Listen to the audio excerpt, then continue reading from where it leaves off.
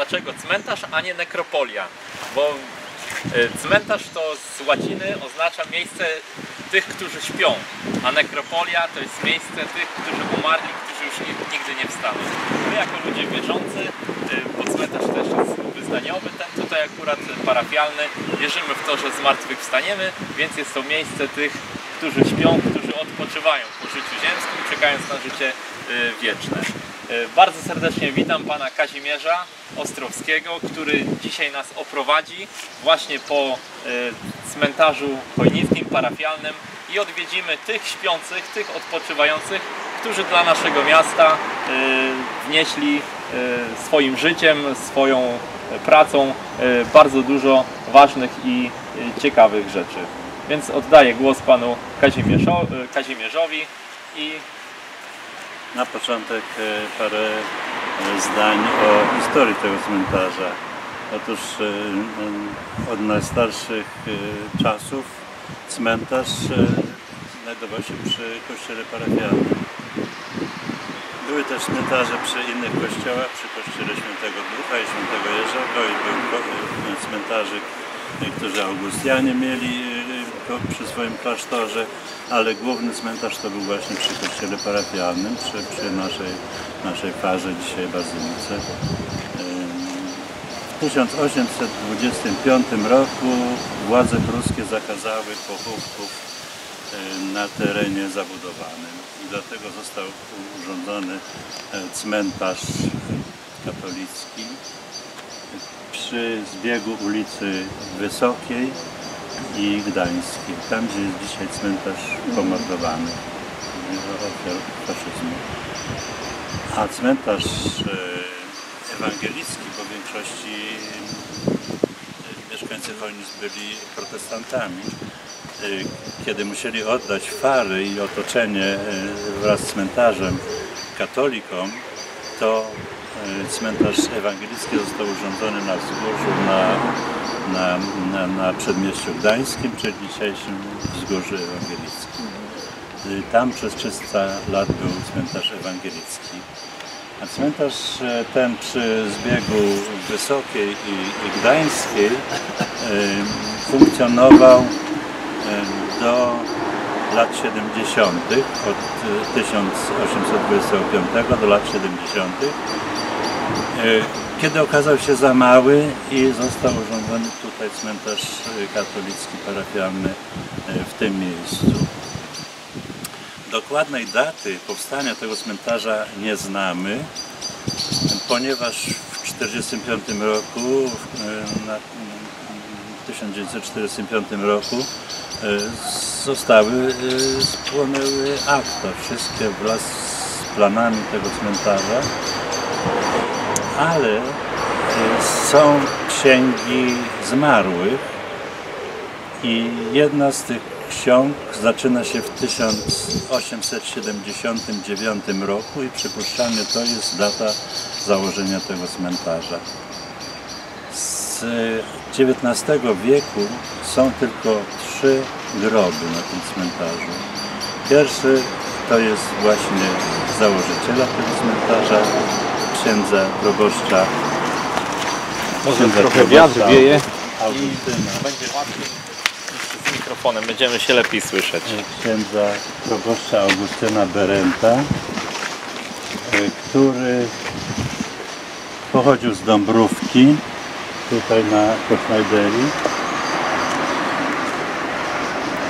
Kosznajdrzy, wiadomo, to oni byli y, Niemcami osiadłymi tutaj od kilku wieków, ale zachowali wiarę katolicką i charakterystyczne, że bardzo y, y, sporo jest księży pochodzenia kosznederskiego i nawet biskupów, ksiądz biskup Rosentreter czy, czy ksiądz biskup Klunder, to z Kosznederii właśnie pochodzili.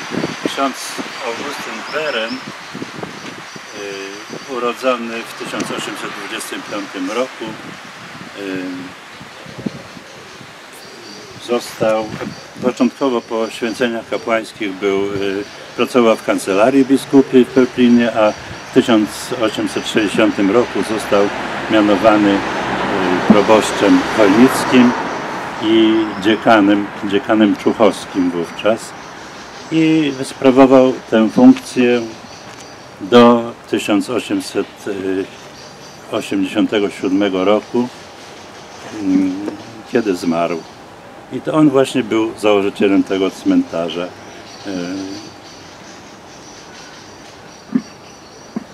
Drugi e, e,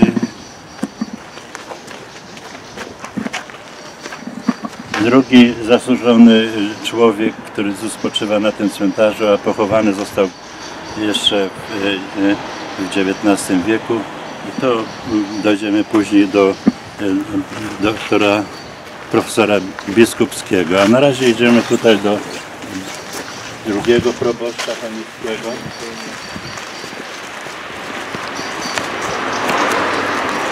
Księdza Leona Beniga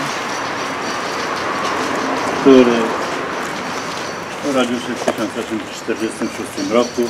Po święceniach kapłańskich był przez dłuższy czas e, proboszczem garnizonu wojskowego w Toruniu, a w 1887 roku po śmierci księdza Berenta został tutaj mianowany proboszczem e, i był nim tutaj przez 35 lat do 1922 roku do swojej śmierci. Jemu możemy zawdzięczać e, regotyzację naszej fary, bo fara, e, nasz kościół parafialny był e, wewnątrz, miał wystrój barokowy.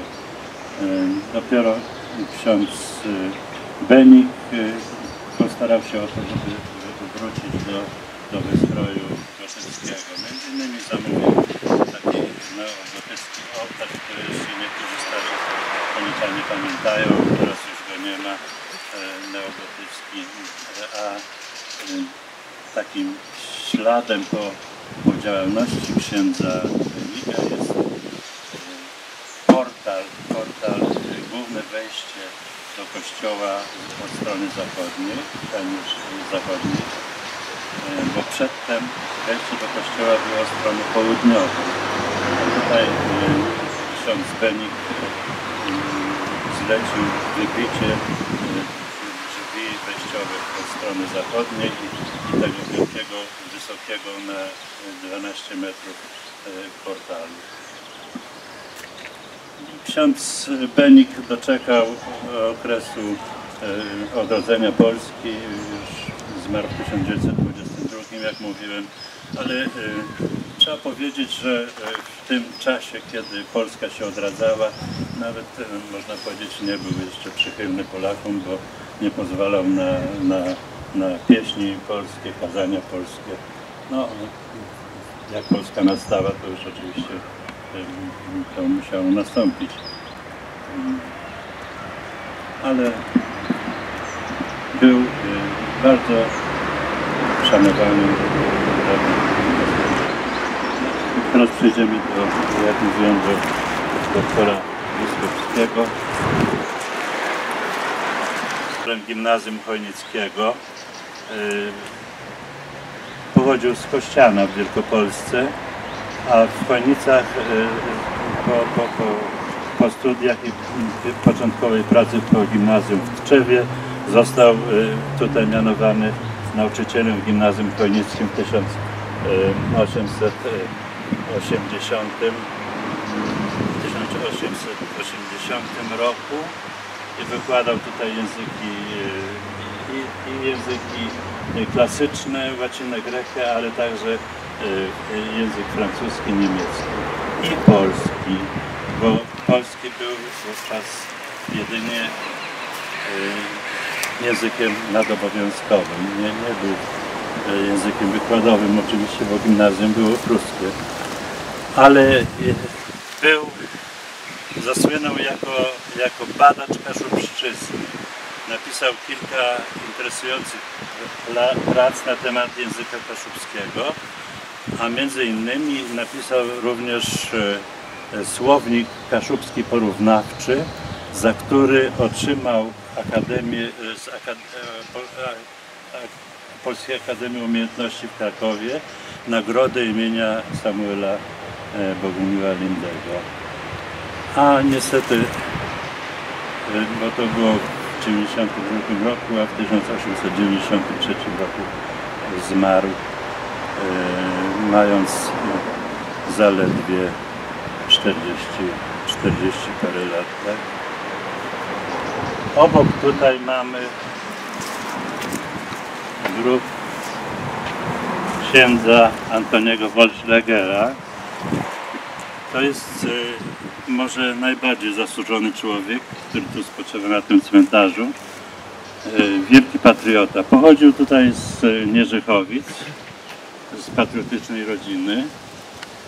E, z- jako uczeń gimnazjum chojnickiego e, był współzałożycielem tajnej organizacji filomackiej Mickiewicz. E, Po studiach studia odbywał teologiczne mm, w uniwersytetach niemieckich, ponieważ, ponieważ seminarium e, w Kolpinie w czasach kulturalnych zostało zamknięte, a po powrocie do, tutaj po, studiach pracował jakiś czas kancelarii mm, biskupiej. Potem był no, również między innymi był administratorem parafii w Czersku, ale przy, przez kilkanaście lat od 82 do 94 chyba był był e, dyrektorem zakładu księży emerytów w Zamaru.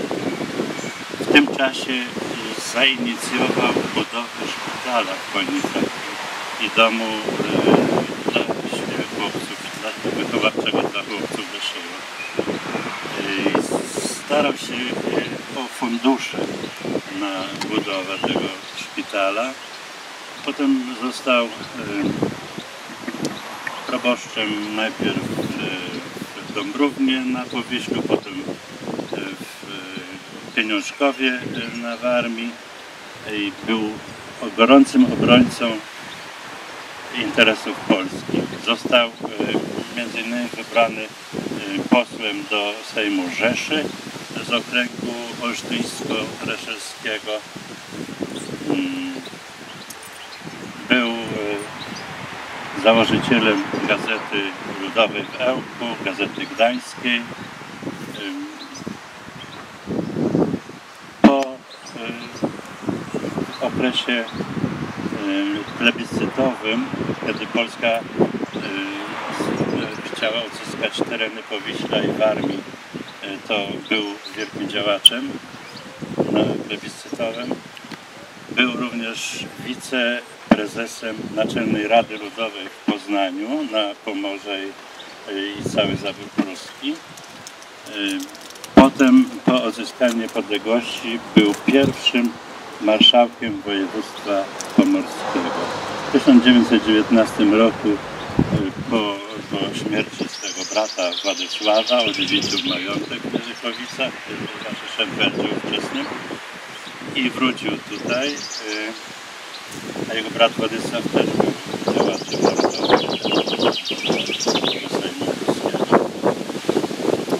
Ale niestety już dwa lata później, w styczniu 1942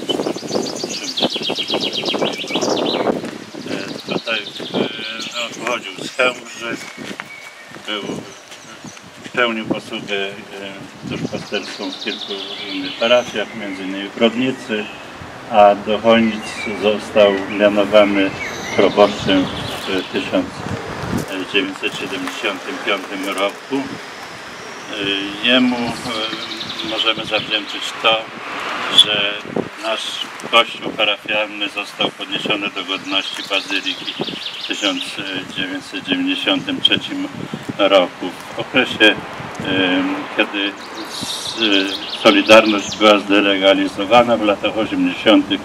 opiekował się, patronował chojnickim działaczom tej podziemnej Solidarności.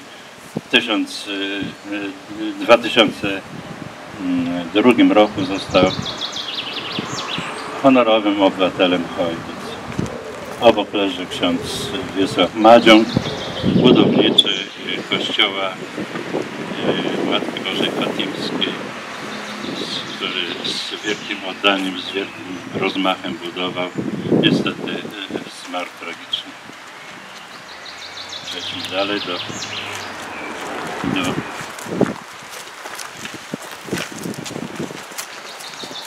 tu mamy mamy tutaj doktora Alojzego Sobierańczyka, który pochodził ze Złotowa, y,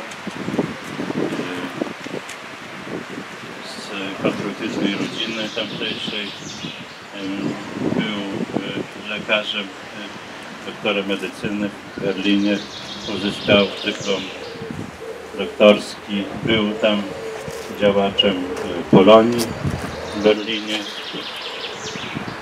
a po powrocie na, tutaj do, na, na Krajnę, do, do Złotowa był, zakładał mm, polskie organizacje gospodarcze, spółdzielnie.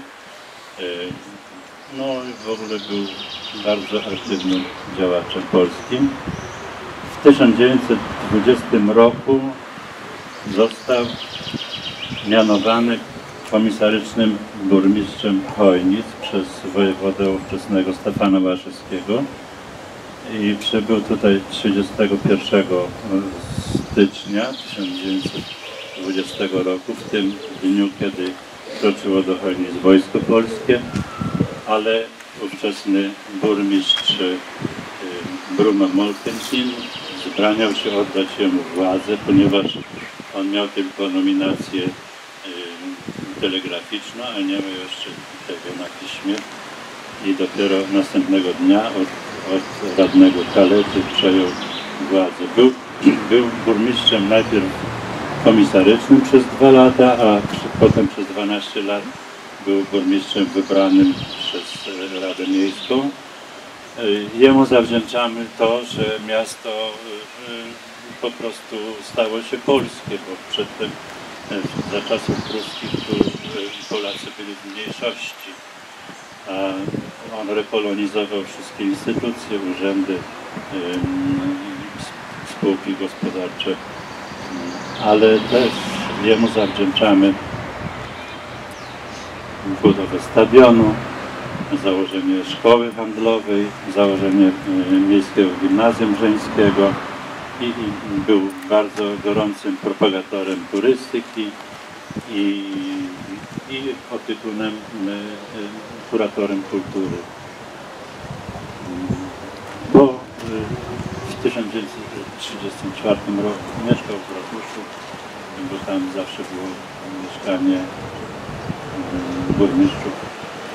W 1934 roku nie został ponownie wybrany na burmistrza, bardzo to przeżył i i trzy miesiące kwietniu 1934 roku zmarł. Obok leży jego żona e, Bronisława i syn, syn z rodziny bardzo znanej, chojnickiej rodziny, y, rodziny Koperskich. No, dużo można by o różnych przedstawicielach tej rodziny mówić, ale ja wspomnę tutaj przede wszystkim Franciszka y, Koperskiego, muzyka, który przez 25 lat, od 70 do 95 roku y, był y, organistą w chojnickiej y, farze. Ym, No, muzykami byli też inni y, przedstawiciele tej rodziny. Stefan, y, jego brat, y, był y, organistą w kościele gimnazjalnym. Wszyscy jeszcze, no my starsi przynajmniej, pamiętamy Franka Koperskiego i przyjaźniliśmy się z nim, można powiedzieć. Idziemy do, może dalej.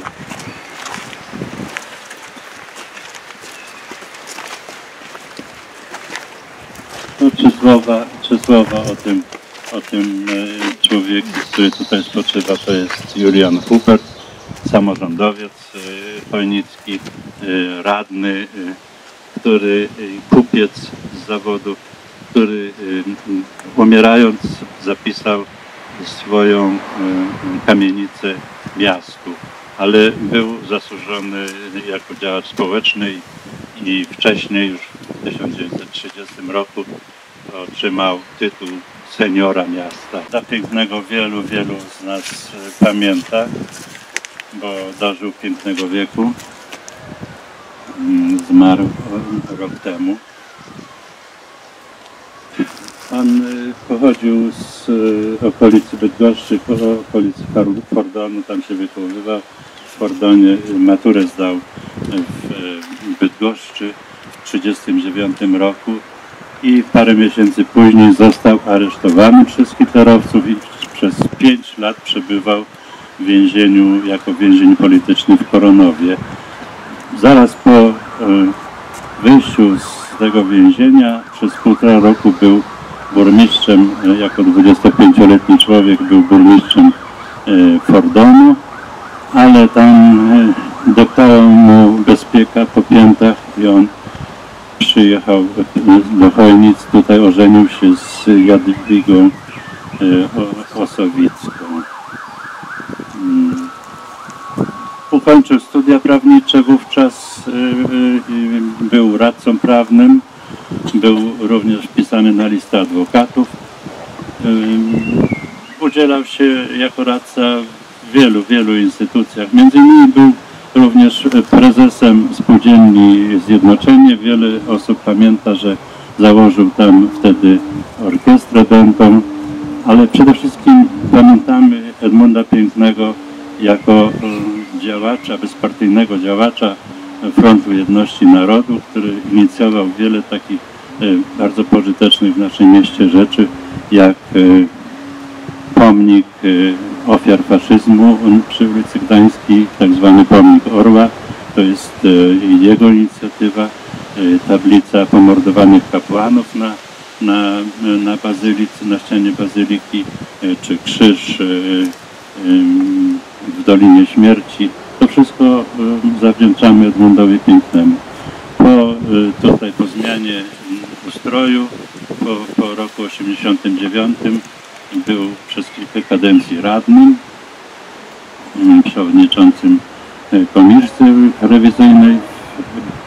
Był, był też y, przez długie lata prezesem Związku Kombatantów i Byłych Więźniów Politycznych. No w ogóle bardzo czynny, czynny w życiu publicznym. Był również e, tutaj inicjatorem współpracy Chojnic z Emsdetem i z miastem Walwik e, w Holandii. E, Organizował pomoc charytatywną dla Chojnickiego Szpitala, dla, dla domów dziecka tutaj w okolicy, w Tucholi, w- w Więcborku. Mm, No, pamiętamy go jako człowieka y, wielkiej klasy. Został y, też honorowym obywatelem, obywatelem Chojnic. Swego życia wiele czasu poświęcał y, tak zwanej Radzie Seniorów, którą, którą założył. To jest takie stowarzyszenie liczące tam około 30 osób, ale, ale ludzi, którzy kiedyś pracowali na jakichś takich ważniejszych stanowiskach, a, a nie chcą być jeszcze y, na marginesie życia społecznego. Kara Gajewska, y, która była y, prezesem, prezesem sądu w Chojnicach, sądu powiatowego, żona dyrektora liceum chojnickiego, zmarła w bardzo młodym wieku, mając 40 chyba Jesteś na przygrobie Hipolita Elnickiego, herbu Ostoja, e, lekarza. Pochodził z Brodnicy Górnej w powiecie kartuskim. E, Po studiach e, otrzymał, aha, jeszcze jako, jako gimnazjalista najpierw w Wejherowie, a potem w Wałczu. Był założycielem kół filomackich był działaczem tych e, tajnych stowarzyszeń samokształceniowych w tych gimnazjach. Studiował e, w Gryfi, czyli Greifswaldzie i w Berlinie, a po, po studiach zaraz osiadł tutaj w Konicach w 1881 roku i przez 50 lat był tutaj lekarzem. Ale był również nie tylko lekarzem, szanowanym bardzo, który nierzadko leczył za darmo. E, Był również działaczem, starał się o mm, ulżenie doli e, e, ludzi biednych, zakładał e, warsztaty rzemieślnicze, rękodzielnicze. E, Był tutaj e, długoletnim em, członkiem Rady Parafialnej, ale był również pierwszym, pierwszym urzędnikiem sanitarnym w powiecie chojnickim. Poza tym opiekował się y, kołami filomackimi na terenie y, chojnickiego gimnazjum. Y, Przez ponad 30 lat udzielał schronienia bibliotece tych młodych ludzi i u niego w mieszkaniu odbywały się spotkania filomatów, a mieszkał y, w domu już teraz nieistniejącym, y, nieistniejącym przy Placu y, Niepodległości, który został wyburzony z powodu poszerzenia ulicy w czasie okupacji. Ale my jako Zrzeszenie Kaszubsko-Pomorskie umieściliśmy tablicę na sąsiednim domu przy ulicy mm, e, Kościuszki 29, tam jest jego tablica pamiątkowa e, Hipolita Niskiego. Syn e, Marii, e, e, a, przepraszam, Anieli ze Stralów i, i Hipolita Niskiego, e, gimnazjalista chojnicki, też filomata, Hipolit e, utonął w młodzieńczym wieku. Mm. Hipolit e, Niski został z okazji 70. rocznicy swoich urodzin e,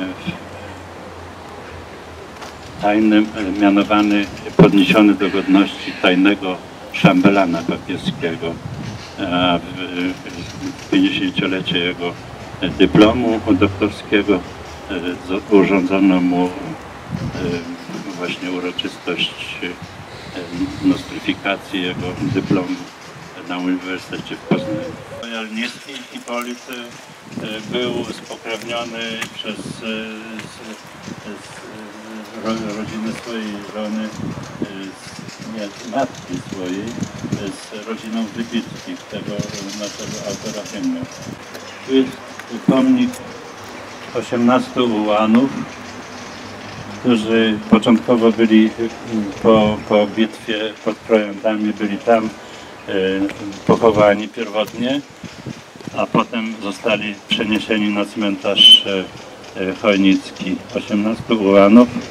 Wśród nich jest tutaj e, pułkownik Kazimierz Mastalerz, dowódca pułku, 18 pułku Ułanów. Jest tutaj e, rotmistrz Edmund Świeściak, no i, i kilkunastu innych bezimiennych Ułanów. Jest to również pomnik 20 żołnierzy polskich z września 1930 1989 roku, którzy polegli tutaj na terenie miasta i, i najbliższej okolicy.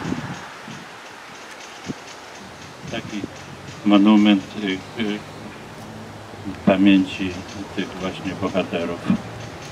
Szkoda, że masz talerz z imienia i nazwiska na pomniku nie jest wypisane. Nie? Chyba jest. Nie jest.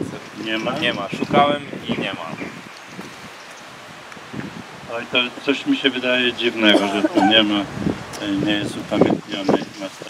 W czasie I wojny światowej e, szpital e, chojnicki siostry franciszkanki musiały opuścić i oddać na szpital wojskowy.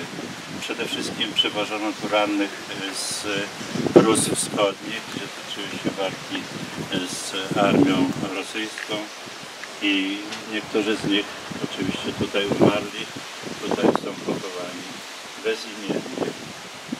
E, Może kiedyś te nazwiska były znane, teraz po 100 latach e, te groby są bezimienne. Są też groby e, polskich żołnierzy poległych w walkach wojny polsko-bolszewickiej w 1919-20 roku. Też bezimienne. I tutaj jest, dalej jesteśmy przy grobie. No Jak mówiłem, Świeży. cmentarz, cmentarz e, katolicki w Chojnicach był przy, przy e, kościele farnym przez kilka wieków, a otoczenie cmentarza, kiedy, kiedy Prusacy zakazali tam pochówków, było niwelowane e, raz i potem drugi raz e, w 1924 roku. E, Także mimo to zostały tam szczątki ludzi tam pochowanych. Teraz, kiedy kilka lat temu, 10 lat temu zda- zdaje się był ten plac kościelny na nowo urządzany, nadal wydobyto tam e, e, sporo, sporo szczątków ludzkich, które zostały tutaj pochowane E, i ten, jest to taki symboliczny grób wszystkich, którzy spoczywali i spoczywają tam przy, przy Bazylice Chojnickiej. Tu jest grób doktora Jerzego Su- Suczyńskiego, nauczyciela historii z Chojnickiego Liceum. E, Człowieka mądrego i przede wszystkim odważnego, który w tych czasach, kiedy jeszcze się nie mówiło prawdy historycznej, to on potrafił mówić to, co należy. A w latach e, 80., tak samo jak e, mówiłem o księdzu kanoniku Lewandowskim, tak samo dr Jerzy Suczyński e, współpracował działaczami podziemnej Solidarności i wygłaszał e, no, prelekcje takie jak należy. Człowiek wielce szanowany.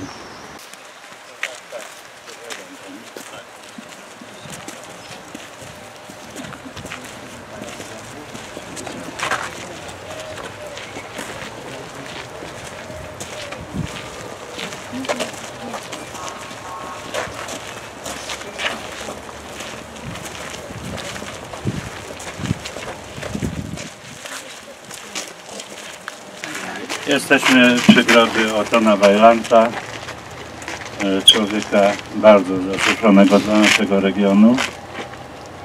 E, Z zawodu był kuśnierzem, urodził się w rodzinie krawca e,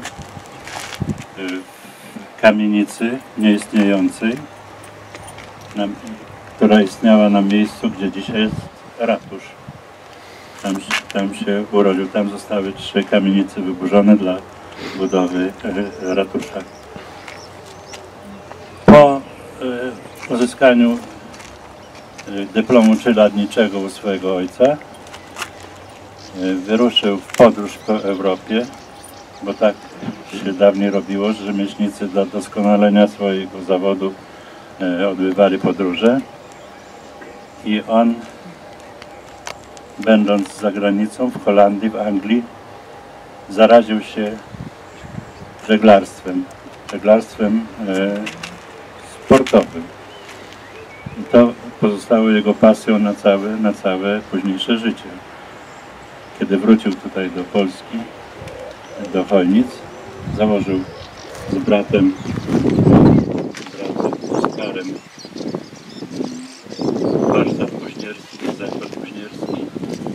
ale oprócz tego e, zbudował sobie dach i po jeziorze, które było na miejscu dzisiejszego Parku Tysiąclecia, e, żeglował.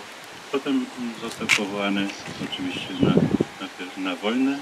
Po powrocie z wojny e, w 1919 roku wynajął, wynajął dom w Zaciszu, Starzykowa w Zaciszu i oddał go na użytek powołanego Towarzystwa Przyjaciół Żeglarstwa. To było jeszcze Towarzystwo Niemieckie, bo to był rok 1919, jeszcze, jeszcze nie było tutaj Polski.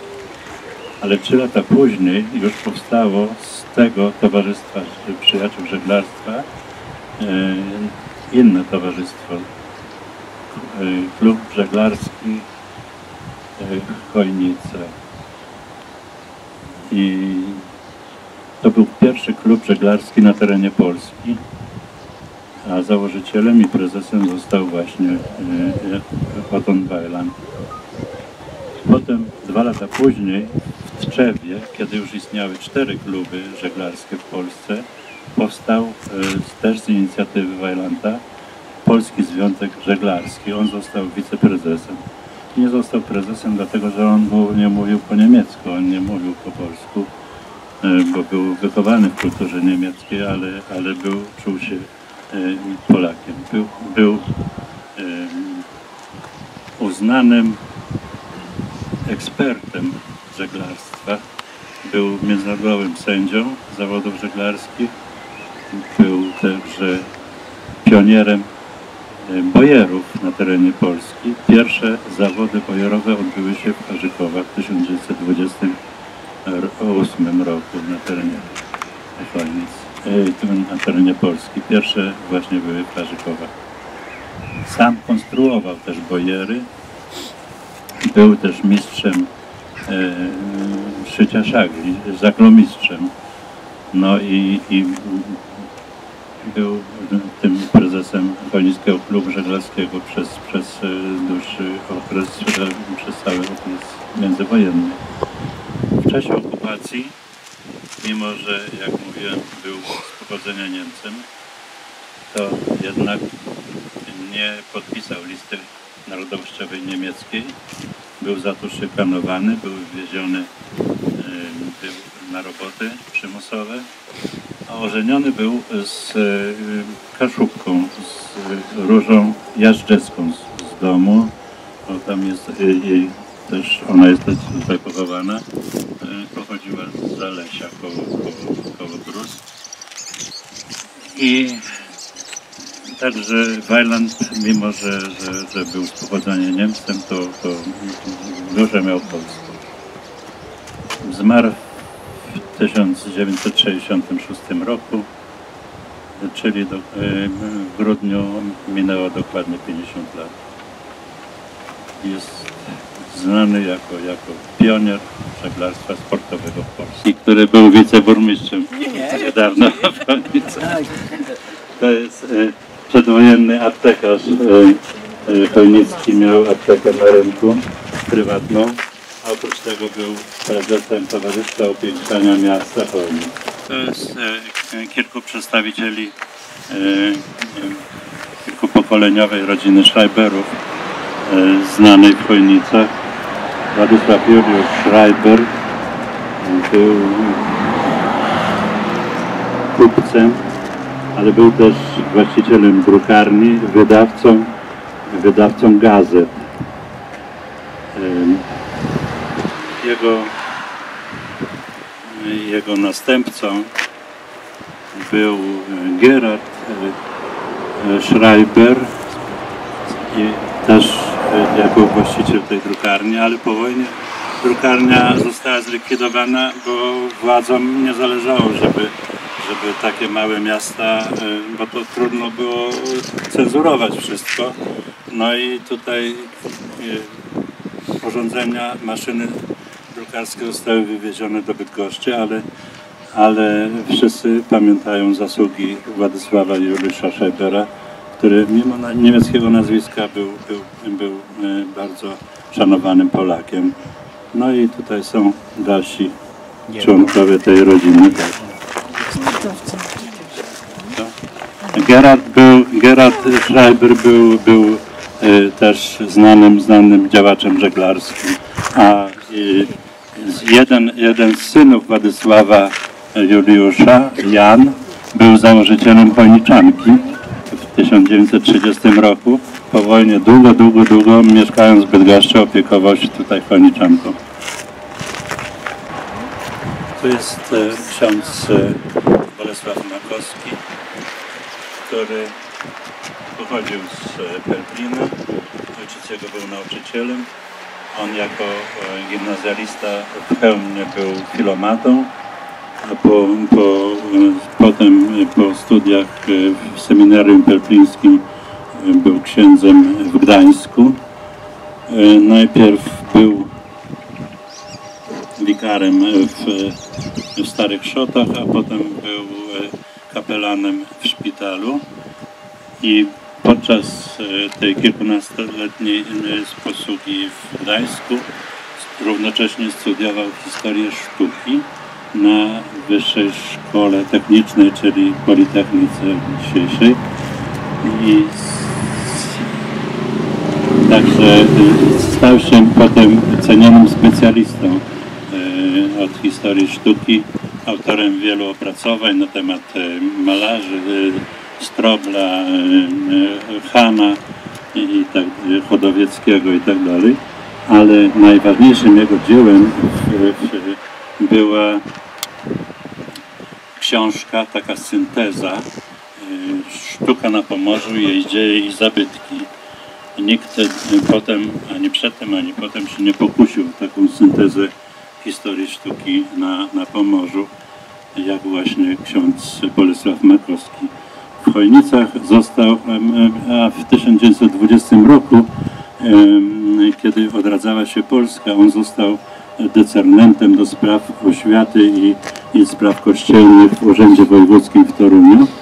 Ale w 1922 roku po śmierci księdza Leona Beniga został tutaj mianowany proboszczem i był nim przez 12 lat do swojej śmierci, bo niestety umarł przedwcześnie 1934 roku. Tutaj y, staraniem naszym Zrzeszenia Kaszubsko-Pomorskiego ta została umieszczona ta tablica, to epitafium tutaj, gdzie przypominamy jego zasługi dla, dla Chojnic i dla, dla w ogóle dla kultury. Y, Jego dziełem w naszej bazylice było y, dokończenie, dokończenie regotyzacji kościoła, mianowicie odbudował sklepienia, które są obecnie, bo sklepienia przez długi czas od potopu szwedzkiego, kiedy runęły, potem był, było tylko z, z, był sufit, y, strop y, drewniany. A w 1924 roku ksiądz Makowski odbudował te sklepienia krzyżowo-żebrowe.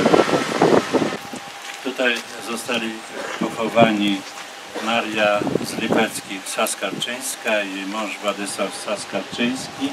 A są to rodzice trzech nauczycielek, trzy siostry e, Saskarczyńskie, Helena, Elżbieta i Ewa, e, które no, urodziły się w Pile i tam e, i, i w Trzciance, ale wychowywały się e, już w czasie, e, kiedy mm, rodzice ich mieszkali tutaj w Chojnicach i one były nauczycielkami przed wojną w różnych miejscowościach i również w Chojnicach, a po wojnie wszystkie trzy były nauczycielkami y, chojnickich y, szkół średnich. Szkoły y, tej przy ulicy Dworcowej jeden, to, to technikum i tak samo liceum ogólnokształcącego w Chojnicach. My i tutaj te, niektórzy z nich, z nas pamiętamy, że były naszymi nauczycielkami i na przykład Helena była moją też wychowawczynią. One były pierwotnie pochowane na cmentarzu komunalnym, bo w tym czasie, kiedy, kiedy tutaj nie było pochówków, one umarły i zostały tam pochowane, ale staraniem ich wychowan, wychowan, wychowanków, ich wychowanek zostały ich szczątki przeniesione tu do grobu rodziców. Pamiętamy te y, y, panie Karczyńskie głównie z, też z tego powodu, że one zainicjowały w czasie okupacji tajne nauczanie na terenie powiatu chojnickiego. Na, w ich mieszkaniu przy ulicy Warszawskiej 19 zawiązał się tajny komitet, ta- tajny komitet tajnego nauczania, którego prezesem została pani Franciszka Szablewska, też chojniczanka, a one, one, one z, tak samo jak kilkunastu innych nauczycieli prowadziły tajne komplety w czasie okupacji. A po wojnie no, uczyły języków, a na przykład Helena y, uczyła też w młodszych klasach y, na przykład y, matematyki, no bo te kadry wówczas w tym czasie były bardzo jeszcze nie, nieliczne, nauczycielskie i, i nie brakowało wykształconych e, specjalistów w poszczególnych przedmiotach, ale e, w każdym razie mm, one zostały zapamiętane jako, jako takie no, szanowane nauczycielki. To pierwotnie on był znacznie mniejszy, ten cmentarz, kiedy został założony, ale potem przybywało tutaj y, ludzi w i katolików w Chojnicach. Cmentarz y, jeden, y, tamten przy Wysokiej był za mały, ten się też okazał za mały. W 1907 roku po raz pierwszy został powiększony, a y, spory kawałek ziemi na powiększenie cmentarza ofiarował doktor Jan Karol Łukowicz, który był dyrektorem szpitala i tutaj miał przyległe, przyległe pola, należały do niego.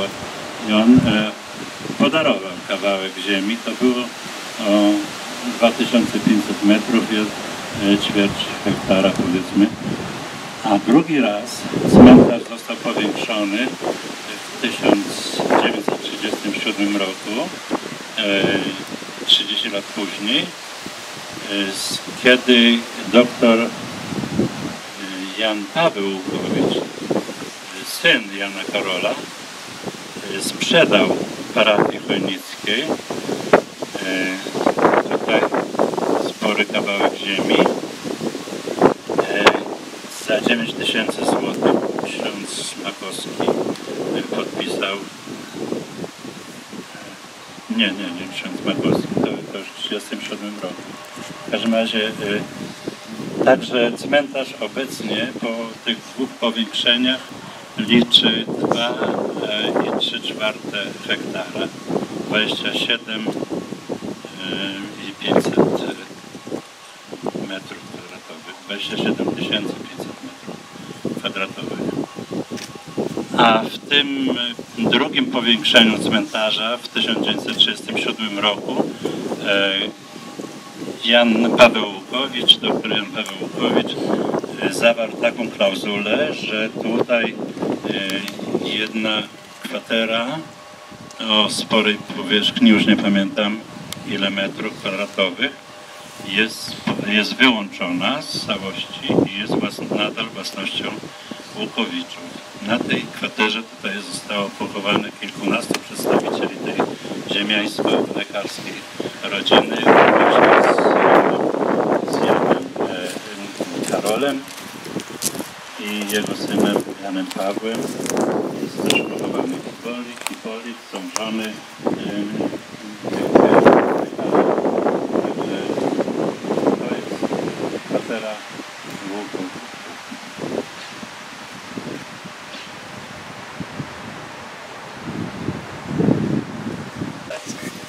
To bardzo serdecznie panu Kazimierzowi dziękujemy, że nas oprowadził po chojnickim cmentarzu. Przypomniał nam historię zasłużonych dla naszego miasta e, Chojniczan. Został e, na wniosek władz miejskich wpisany do rejestru zabytków przez konserwatora zabytków Bydgoszczy. Ale tutaj w tym czasie, kiedy był e, zamknięty dla pochówków, kiedy był nieczynny, to wiele rodzin e, przenosiło swoich, e, swoich e, tutaj bliskich szczątki na cmentarz komunalny. Wiele kwa- kwater tutaj grob- grobów się opróżniło i 20 lat później, w 1993 roku, konserwator zabytków ponownie pozwolił na chowanie tutaj zmarłych. Tym, że wyłączona z tego miała być ta część najstarsza, tutaj pod murem i, i, i ta strona, strona południowa, gdzie są najstarsze pochówki, to miała być wyłączona z, z tego użytku, a niestety tak się nie stało i, i wiele kwater tutaj e, zostało już ponownie zasiedlonych, że tak powiem. No, e, przy okazji również giną niekiedy bardzo tutaj e, groby, które powinny być zachowane, między innymi e, tutaj był taki grób e, Kazimierza Sikorskiego, właściciela części majątku w Wielkich Chełmach, który, który swoją całą, on był kawalerem, prawnikiem był tutaj w Konicach, i swoją, swoją tą spuściznę rodzinną przeznaczył na kształcenie młodzieży polskiej i jest uznawany jako darczyńca Towarzystwa, towarzystwa właśnie naukowego w Toruniu. No niestety ten nagrobek tutaj w swoim czasie zginął, nie ma już. Tam jest nagrobek jego, jego ojca, Stefana Sikorskiego. To jest ten trzeci y, z wieku XIX istniejący jeszcze tutaj na tym cmentarzu i jego żony e, Marii z, Dekowskich. 19 po obiedzie e, opiekował się mm, e, tym cmentarzem e, Zarkrystian, czyli kościelny, który miał nadzór nad grabarzami, zamykał i otwierał furtkę, dbał o urządzenia cmentarza i tak dalej, i tak dalej. A w okresie zimowym do 17 tylko był czynny. Ja pamiętam jeszcze po wojnie to było to samo. Tutaj były tabliczki emaliowane na, na bramie jednej i na drugiej bramie, do, w których godzinach jest czynny cmentarz. A teraz tego nie ma. Dziękujemy Państwu bardzo. Dziękuję.